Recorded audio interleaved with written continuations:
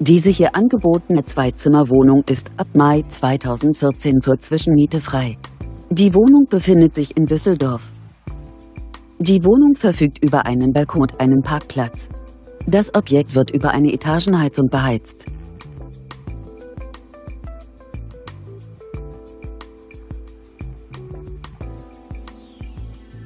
Bei einer Wohnfläche von ca. 75 Quadratmetern beläuft sich die Pauschalmiete dieser Wohnung auf 1.800 Euro pro Monat. Kontaktieren Sie uns. Für die Vereinbarung eines Besichtigungstermins stehen wir Ihnen gerne zur Verfügung.